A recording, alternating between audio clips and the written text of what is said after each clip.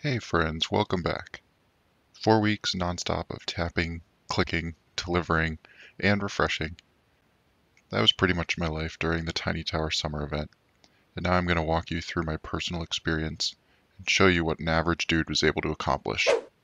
This event was all about the VIPs that get delivered to your lobby. I made progress by collecting and delivering these little guys up to a floor. Each week, the required VIPs increased which made it super challenging to get all the points necessary as we continued week by week by week. At the end of the four weeks, there were five major awards up for grabs based on an average of each week's results. Now, let's dive a little bit deeper into those results.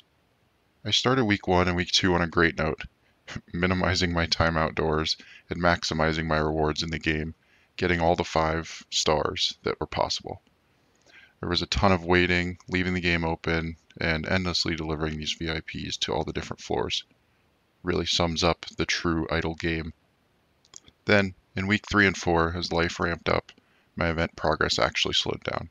It started to become draining to constantly babysit my tower while making sure there was a fire extinguisher nearby in case my device decided to spontaneously combust from being left open.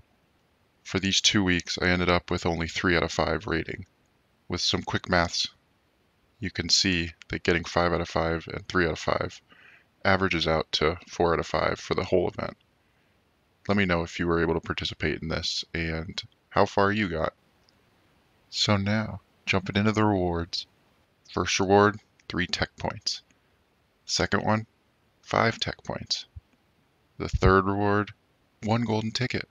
And the very fourth and last one that I was able to get, 2 golden tickets. Awesome since I wasn't actually able to get that fifth reward, really curious for anybody who received that fifth reward. Um, let me know what you got because I really am interested to see what they give away as that uh, end all be all.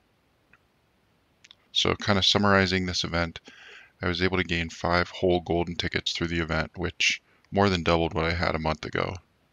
And beyond just these final rewards, let's not forget that there were so many other things that came with this event, such as the coins, the bux, the boosters, all those different weekly rewards that you were able to capture. So overall, I'd say this was pretty much a success as far as the event. What do you guys think? Thanks for tuning in.